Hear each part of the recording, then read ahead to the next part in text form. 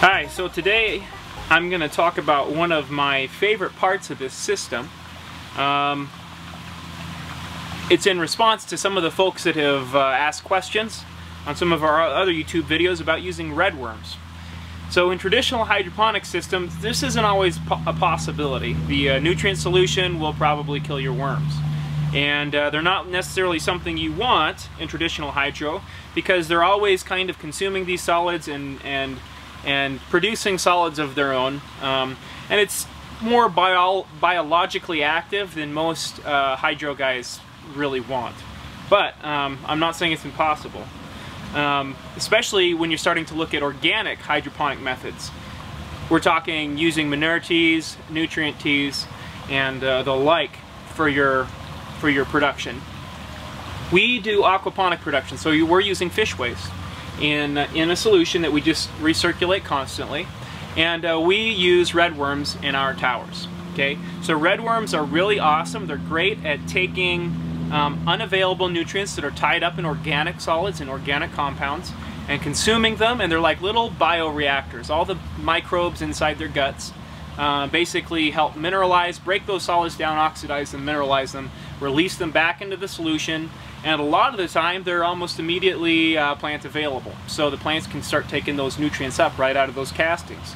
Um, if the plants don't take them up, they just go right back into the solution and they circulate and they do their thing. It's part of the marvelous cycle of life in aquaponics.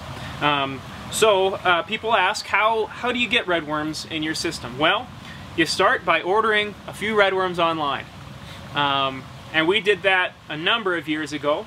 And then uh, we basically put them in worm bins like this, and this is really all you need. It's just a, you know, a few Tupperware tubs from Walmart, pretty cheap. Drill some holes in it so they drain, drill some holes so there's some good aeration, and then just start throwing all of your waste from your system in. And if you're a home or a hobby producer, start throwing in all your waste from your kitchen. And pretty soon you end up with this nice, rich, um,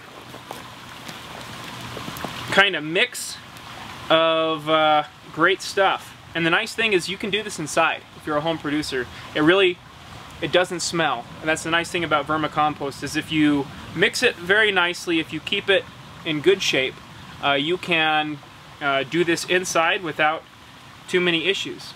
So uh, you see I've got some really nice rich stuff here and uh, if you notice it's just crawling with worms.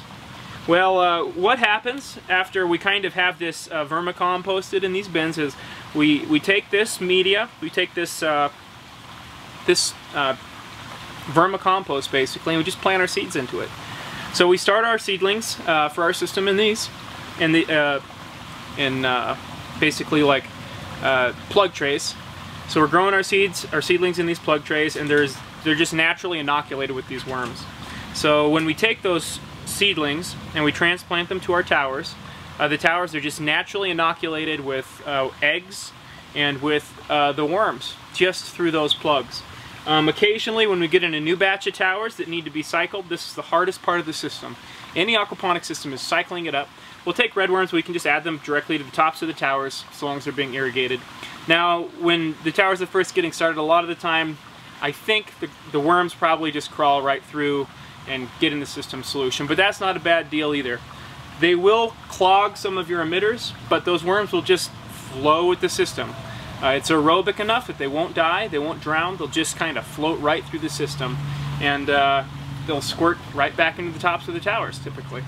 So we have redworms in all of our towers, all through our system, and they do a great job at keeping our percolation rates very fast. They do a great job at reducing our solids and making a lot of our organic solids, uh, converting those into plant available nutrients. So uh, I highly recommend the use of redworms with towers, especially in aquaponic systems. Any kind of media based aquaponic system, redworms are going to be a huge asset to your system. They're going to increase your nutrient availability and um, they're just kind of a, another fun little element. Uh, you know, biodiversity in these systems equates with uh, better resiliency, better system stability. So I encourage it and uh, they're just pretty cool little animals too. So that's uh, that's how we get redworms in our system.